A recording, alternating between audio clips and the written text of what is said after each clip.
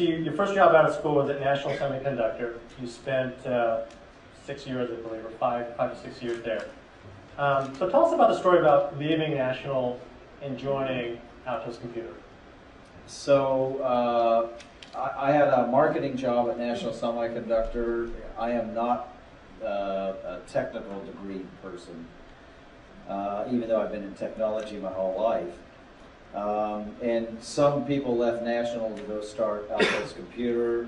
I went and interviewed, sat on the floor for the interview because they had no furniture, um, and was like employee number four of Altos. And uh, at the time, new baby, new job, new house. And so even my mother said, I think you're crazy.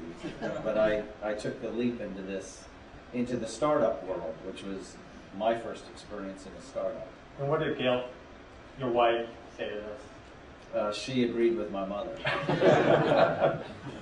Okay. It, it turned out all right.